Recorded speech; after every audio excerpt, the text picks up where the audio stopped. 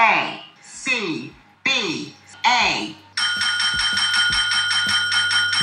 Yes, sir. We're officially back at it. Boog Nice coming at you with a quick nightly update, continuing my Bring On the Bad Guys World Tour, bringing out a rough, a really used figure here. This is the Radioactive Man. I believe he came in a three pack, if I'm not mistaken. I can't even remember who was in a three pack. Maybe Captain America and somebody else. Something will be popping up on the screen here. But I would love to get a Radioactive Man and his yellow radioactive suit. In fact, I'd love to complete the Thunderbolts team that came right before the Dark Avengers. So think about it, Hasbro. That's what we need. Broke out the uh, Shield agents. We need a reissue of these on Hasbro Pulse so people can army build them. We need a female Shield agent, and maybe they want to give us an updated helmet, maybe an unmasked head with the helmet that covers the top of the head and not the full sort of gas mask, just to switch it up a little bit like they did with some of the other army builders, AIM and Hydra. But yeah, Radioactive Man in the yellow suit, that would be fire. Working here in my tenement diorama made by my man Kris Lyons. Two bright lights behind behind Radioactive Man through shining through the doorway,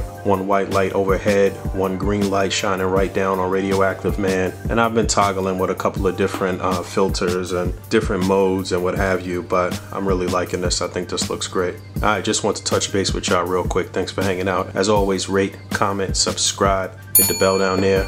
And until next time, peace. Listen here, Mesa make you disappear. And your mouth will be the reason that you missed this year. Man, who need you? You don't need me, I don't need you neither. That's why my next leg's gonna be a two-seater. And the thing